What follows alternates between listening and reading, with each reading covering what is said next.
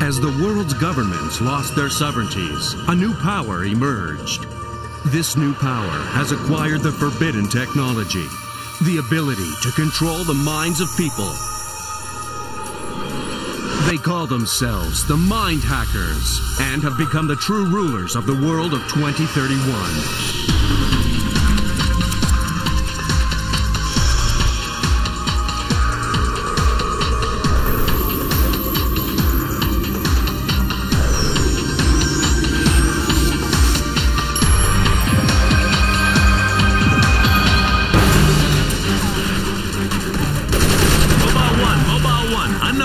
Unknown hostiles in Sector 5. Request data loop. Do you copy?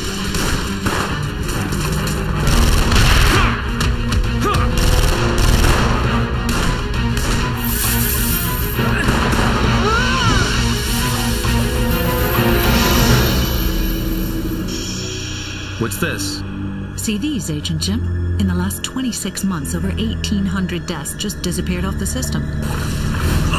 Who's the real enemy? They hide.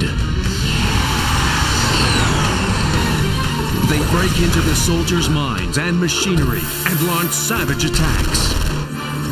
Hack into the minds of citizens and make them allies to fight against your enemies.